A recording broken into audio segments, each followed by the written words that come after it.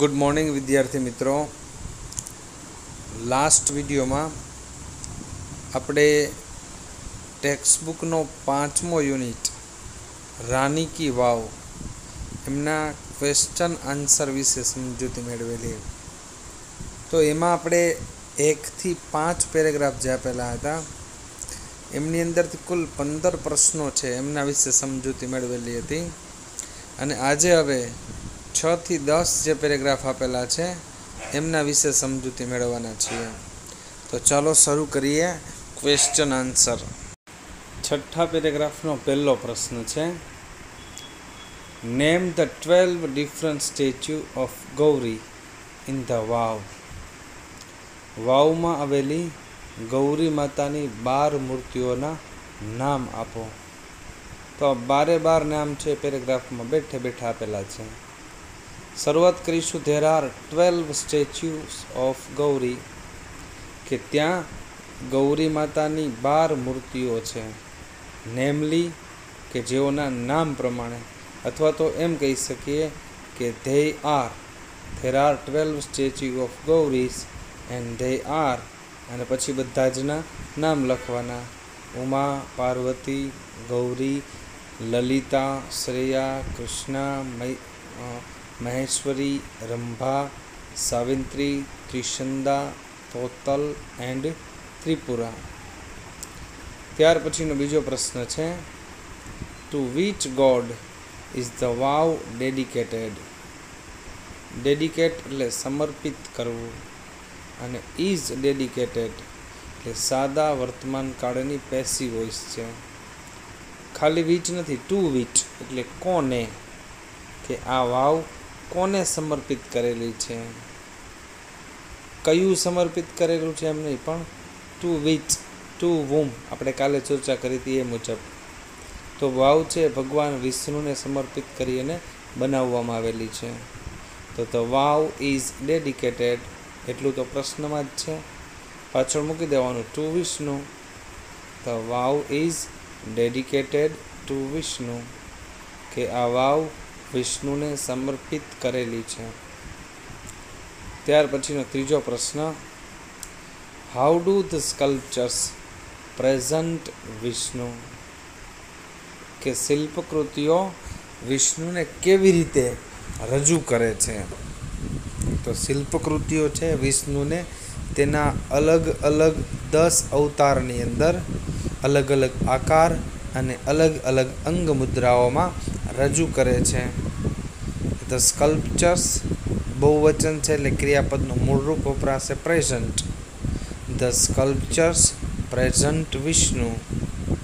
શિલ્પકૃતિઓ વિષ્ણુને રજૂ કરે છે in his ten different avatars તેના અલગ અલગ દસ અવતારોમાં અને એ પણ in different shapes and and postures કે અલગ અલગ આકાર અને અલગ અલગ કદમાં ભગવાન વિષ્ણુના દસ અવતારને રજૂ કરે છે.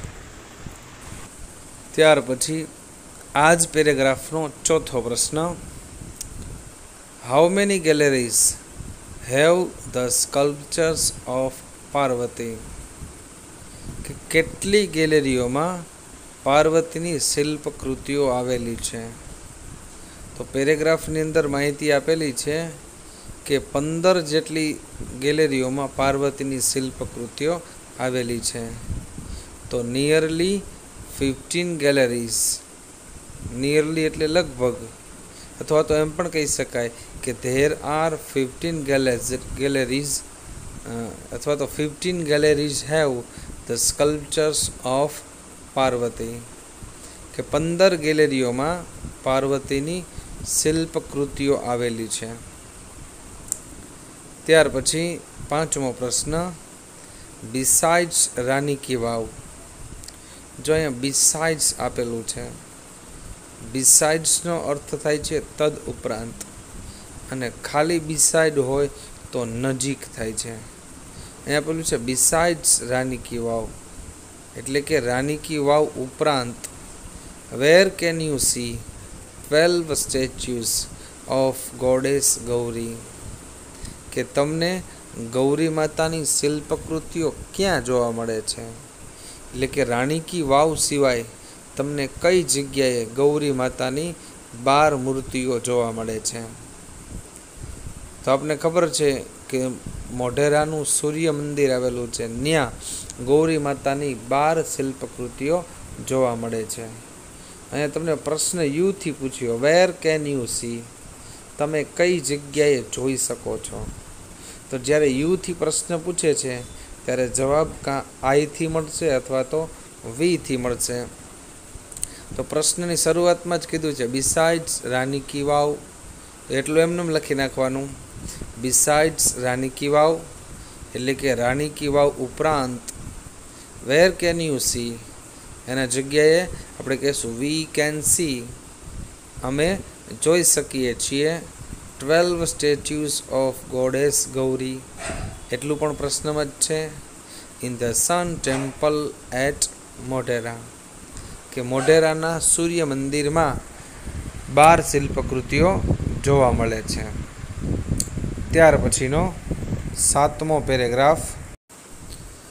સાતમા પેરેગ્રાફનો પહેલો પ્રશ્ન છે કે which are the rare sculptures of gods in the vav rare એટલે ભાગ્યે જ જોવા મળતી હોય તેવી.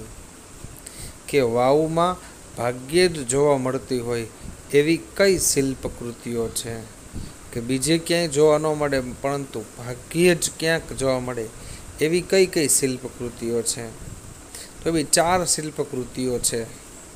એક તો ચાર હાથવાળી ભગવાન બુદ્ધની શિલ્પકૃતિ, બીજા નંબરમાં તલવાર અને ઢાલ સાથે ભગવાન રામની મૂર્તિ, ત્રીજા નંબરમાં છે તપસ્વીના સ્વરૂપમાં સૂર્યની મૂર્તિ અને ચોથી છે કે હાથમાં મણકા હોય એવી ભગવાન શિવની મૂર્તિ. આપેલું છે some of the rare sculpture are of એના બદલે એમ પણ લખી શકીએ કે there are the rare sculptures of gods in the vav એટલું પ્રશ્નમાં જ છે. વિચાર કાઢી નાખીએ, ત્યાર પછી શું વધશે? The rare sculptures of gods in the vav પછી પાછળ એક ઉમેરી દેવાનું આર અને પછી ચારે ચારના નામ લખી નાખવાના. Lord Buddha with four hands ચાર હાથવાળી ભગવાન બુદ્ધની મૂર્તિ, lord Ram with sword and shield, તલવાર અને ઢાલ સાથે ભગવાન રામની મૂર્તિ, sun in the form of a tapasvi, સૂર્યના સ્વરૂપમાં, સોરી, તપસ્વીના સ્વરૂપમાં સૂર્ય, and lord Shiva with beads in his hand. અને હાથમાં મણકા હોય એવી ભગવાન શિવની મૂર્તિ. આવી ચાર શિલ્પકૃતિઓ છે. બિલકુલ સહેલો પ્રશ્ન છે. દેખીએ તો તમને મોટો પ્રશ્ન લાગશે કે, ઓહો, આટલું બધું યાદ રાખવાનું? પરંતુ યાદ રાખવા જેવું કંઈ છે જ નહીં. વીચ આર કાઢી નાખવાનું, ત્યાર પછીનું બધું એમનેમ એટલે કે the rare sculptures of the gods in the vav. અને પછી ઉમેરવાનું એક આર. પછી ચારે ચારના નામ લખી નાખવાનું. લોર્ડ બુદ્ધ રામ સન અને શિવ ચાર ચાર લખી નાખવાનું. ત્યાર પછીનો બીજો પ્રશ્ન છે how does the sculptures present Parshuram? કે આ શિલ્પકૃતિ એ પરશુરામને કેવી રીતે રજૂ કરે છે? તો પરશુરામ આમ જોઈએ તો સ્વભાવે ગુસ્સાવાળા છે, પરંતુ અહીંયા એમને વિપરીત સ્વભાવના બતાવ્યા છે. એટલે એકદમ નરમ અને સૌમ્ય હાવભાવવાળા એકદમ કઠોર અને કરણ, એકદમ કઠણ અને કઠોરના બદલે એકદમ સૌમ્ય હાવભાવવાળા બતાવ્યા છે. તો how does the sculptures present Parshuram? તો વર્તમાનમાં પ્રશ્ન પૂછ્યો છે. એટલે પ્રેઝન્ટનું થશે presents the sculpture presents Parshuram. શિલ્પકૃતિ પરશુરામને રજૂ કરે છે. કેવી રીતે? With a soft and gentle expression એકદમ નરમ અને સૌમ્ય હાવભાવ સાથે. ઇન્સ્ટેન્ડ ઓફ એટલે ને બદલે. Instead of a hard and stern look એમ પણ લખી શકાય. The sculptures present Parshuram. Instead of a hard and stern look a soft and gentle expression એમ પણ લખી શકાય. ત્યાર પછીનો ત્રીજો પ્રશ્ન છે why is the statue of Ram rare rare એટલે ભાગ્યે જ જોવા મળે એવા પ્રકારની કે શા માટે ભગવાન રામની મૂર્તિ એ ભાગ્યે જ જોવા મળે એવા પ્રકારની છે. શા માટે ભગવાન રામની મૂર્તિ એ ભાગ્યે જ જોવા મળે એવા પ્રકારની છે? તો કહે છે the statues of Ram is rare જ્યારે વાયથી પ્રશ્ન પૂછ્યો હોય, ત્યારે પહેલું કામ શું કરવાનું છે?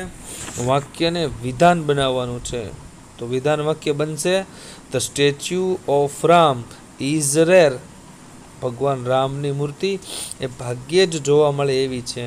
બિકોઝ કારણ કે ભગવાન રામની મૂર્તિમાં તલવાર અને ઢાલ સાથે ઊભા હોય એવી રામની મૂર્તિ છે. Because it has a sword and shield in its hand કારણ કે તેના હાથમાં તલવાર અને ઢાલ છે. કેટલાકને એવો વળી પ્રશ્ન થાય કે ઈટ હેન્ડ એટલે શું, રામના હાથમાં? તો રામ તો એ સજીવ વ્યક્તિ છે, તો હીનો આવવું જોઈએ. પરંતુ રામના હાથમાં એવું નથી કીધું. પરંતુ રામની મૂર્તિના હાથમાં. તો મૂર્તિ છે, એ તો ત્રીજો પુરુષ નિર્જીવ વસ્તુ થશે. એટલે ઈટ વપરાયું છે. એટલે કે મૂર્તિના હાથમાં તલવાર અને ઢાલ છે. એટલે રામની મૂર્તિ છે, ભાગ્યે જ જોવા મળે એવા પ્રકારની છે. ત્યાર પછીનો નેક્સ્ટ પેરેગ્રાફ ત્યાર પછીનો પ્રશ્ન છે what do some of the sculptures displays કે કેટલીક શિલ્પકૃતિઓ શું દર્શાવે છે? કેટલીક શિલ્પકૃતિઓ છે, એ ભગવાન વિષ્ણુ ને અપ્સરા ને પાર્વતી ને ગૌરી સિવાયની કેટલીક શિલ્પકૃતિઓ છે, એ શિલ્પકૃતિઓ છે, એ જમાનાની જીવનશૈલી કેવી હતી, એ જમાનાની લોક વાર્તાઓ કેવી હતી, પ્રાણીઓ કેવા હતા અને મનુષ્યનો સ્વભાવ કેવા પ્રકારનો હતો, એ દર્શાવતી હતી. એટલે the some of the sculptures, એટલું પ્રશ્નમાં જ છે. Some of the sculptures display એ કેટલીક શિલ્પકૃતિઓ દર્શાવે છે. શું દર્શાવે છે? કોન્ટેમ્પરરી લાઇફસ્ટાઇલ એટલે સમકાલીન જીવનશૈલી ફોક ટેલ્સ એટલે કે લોક વાર્તાઓ એનિમલ પ્રાણીઓ એન્ડ હ્યુમન ઇન્સ્ટિક્ટ્સ અને મનુષ્યનો સ્વભાવ. આટલું કેટલીક શિલ્પકૃતિઓ દર્શાવે છે. ત્યાર પછીનો આ જ પેરેગ્રાફનો બીજો પ્રશ્ન what do the sculptures reveal? Reveal એટલે કે પ્રગટ કરવું. કે શિલ્પકૃતિઓ શું પ્રગટ કરે છે? અથવા તો શું દર્શાવે છે? તો શિલ્પકૃતિઓ એ શિલ્પકારની કલાત્મક દૃષ્ટિકોણ અને અજોડ કલ્પના શક્તિને દર્શાવે છે. તો અહીંયા શિલ્પી બહુવચનમાં આપેલું છે એટલે ક્રિયાપદનું મૂળ રૂપ જ વપરાશે રિવિલ. ધ સ્કલ્પચર્સ રિવિલ, એટલે કે શિલ્પકૃતિઓ દર્શાવે છે. બે વસ્તુ. એક, આર્ટિસ્ટિક વિઝન, એટલે કે કલાત્મક દૃષ્ટિકોણ અને બીજું, એન યુનિક ઇમેજિનેશન, અને અજોડ કલ્પના શક્તિ, ઓફ ધ સ્કલ્પ્ટર્સ. શિલ્પકૃતિઓનું કલાત્મક દૃષ્ટિકોણ અને અજોડ કલ્પના શક્તિ દર્શાવે છે. ત્યાર પછીનો ત્રીજો પ્રશ્ન. વિચાર ધ મોસ્ટ અટ્રેક્ટિવ સ્કલ્પચર્સ કે કયા સૌથી વધુ આકર્ષણ ઉપજાવે એવા પ્રકારની શિલ્પકૃતિઓ છે? તો આ પેરેગ્રાફની અંદર ભગવાન વિષ્ણુના જે દસ અવતાર છે એમાંના કેટલાક અવતારની જે શિલ્પકૃતિઓ છે, એ સૌથી વધુ આકર્ષણ પ્રમાણે એવા પ્રકારની છે. એ છે વરાહ, વામન, નરસિંહ, રામ, કાલકી અને મહિષાસુર નર્દિની આ બધા જ અવતારની જે શિલ્પકૃતિઓ છે, એ આકર્ષણ પ્રમાણે એવા પ્રકારની છે.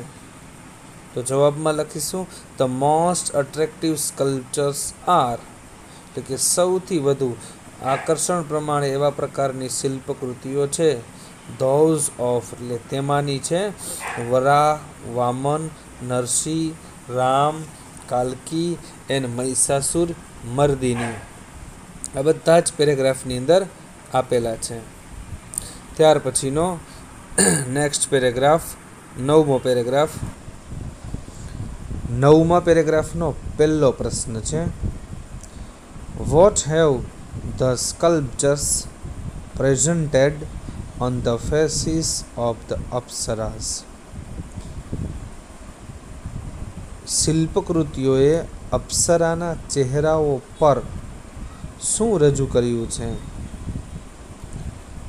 તો શિલ્પીઓ જે અપ્સરાના ચહેરાઓ બનાવ્યા છે, એ ચહેરાઓની અંદર વિશાળ પ્રમાણની અંદર લાગણીઓ અને ભાવનાઓ ચહેરા પર દર્શાવ્યા છે.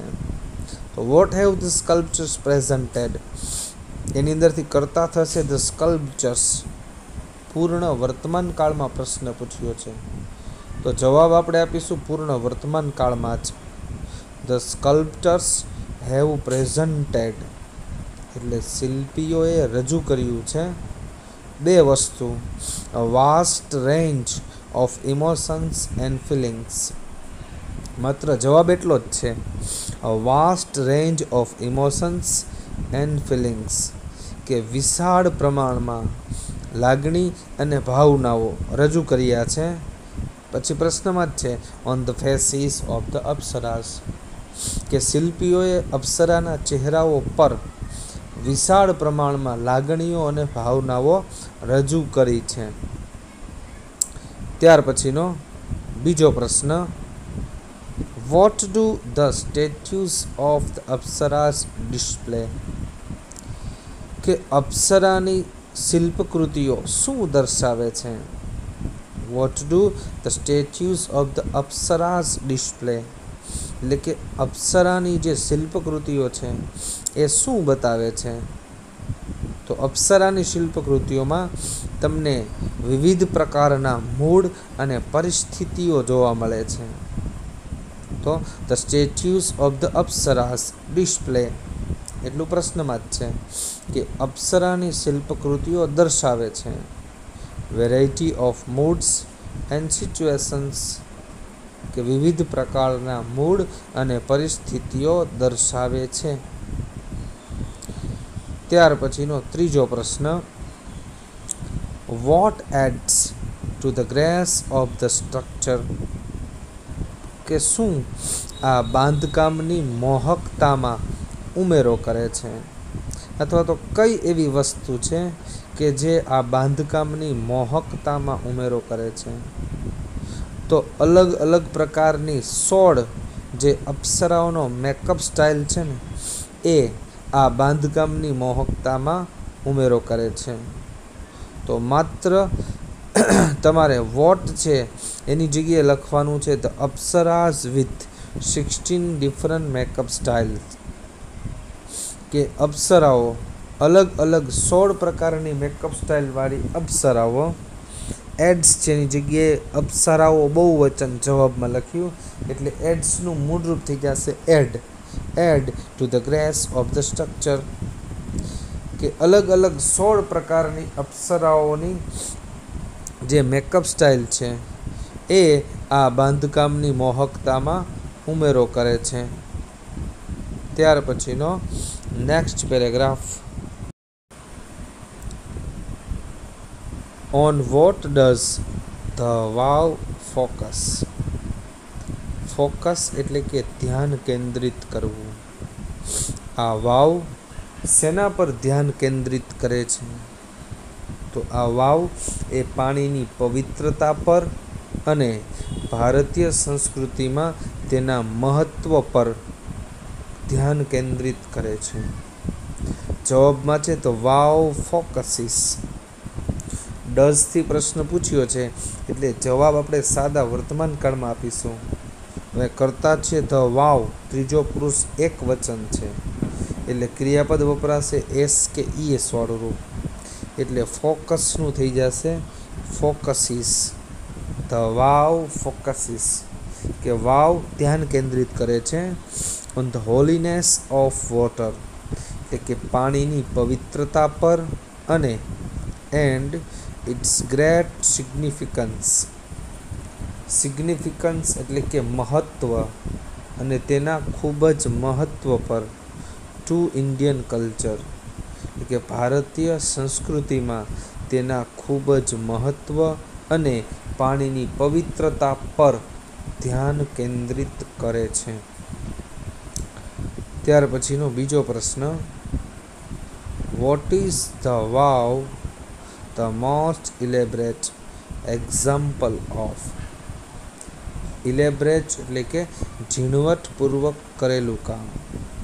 તો આ વાવ એ શેનું સૌથી ઝીણવટપૂર્વક કરેલ કામનું ઉદાહરણ છે? તો વાવ એ પાણીમાં ડૂબેલું અને ઝીણવટપૂર્વક કરેલ કામનું સૌથી મહત્ત્વનું ઉદાહરણ છે. તો the vav is the most elaborate example of એટલું તો પ્રશ્નમાં જ છે. વોટ ઇઝ કાઢી નાખીએ તો શું વધે? The vav is the most elaborate example of એક જ શબ્દ ઉમેરવાનું થશે. સબમર્જડ આર્કિટેક્ચર. સબમર્જ એટલે કે પાણીમાં ડૂબેલું. પાણીમાં ડૂબેલા સ્થાપત્યનું સૌથી અદ્ભુત અને ઝીણવટપૂર્વક કરેલ કામનું ઉદાહરણ છે. ત્યાર પછીનો ત્રીજો પ્રશ્ન. What type of a stepwell is the vav કે આ વાવ કેવા પ્રકારની વાવ છે? તો આ વાવ એ સમજવામાં અઘરી અને વિશાળ પ્રકારની વાવ છે. તો અંગ્રેજીમાં જવાબ થશે ધીસ વાવ ઇઝ કે આ વાવ a large and complex type of stepwell કે આ વાવ એ વિશાળ અને જટિલ પ્રકારની વાવ છે. ત્યાર પછીનો છેલ્લો paragraph.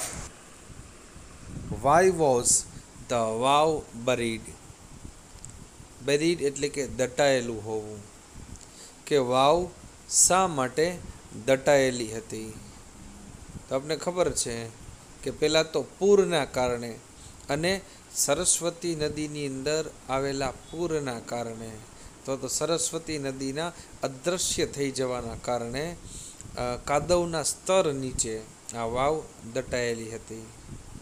તો vav was buried under the mud, કે વાવ એ કાદવ નીચે દંટાયેલી હતી, ડ્યુ ટુ એટલે ને લીધે, અથવા તો બીકોઝ ઓફ પણ લખી શકાય બીકોઝ ઓફ ફ્લડ્સ અથવા તો ડ્યુ ટુ ફ્લડ્સ, એટલે કે પૂરના કારણે એન્ડ ધેન અને પછી the vanishing of the river Saraswati, અને વેનિશિંગ એટલે કે અદૃશ્ય થઈ જવું.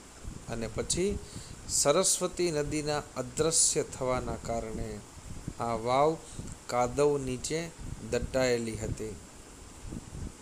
ત્યાર પછીનો અગિયારમા પેરેગ્રાફનો બીજો પ્રશ્ન છે for how long was the vav hidden how long એટલે કેટલા લાંબા સમય સુધી? કે આ વાવ કેટલા લાંબા સમય સુધી સંતાયેલી હતી અથવા તો દટાયેલી હતી.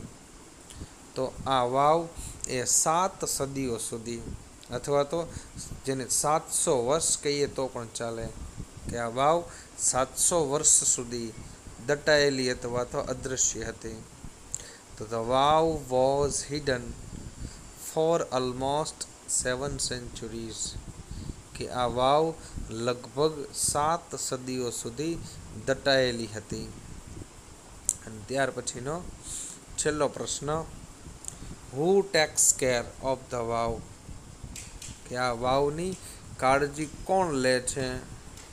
એક જ શબ્દમાં જવાબ આવશે ધ એએસઆઈ એટલે કે archaeological survey of India archaeological survey of India takes care of the વાવ કે આર્કિયોલોજીકલ સર્વે ઓફ ઇન્ડિયા એ વાવની કાળજી લે છે.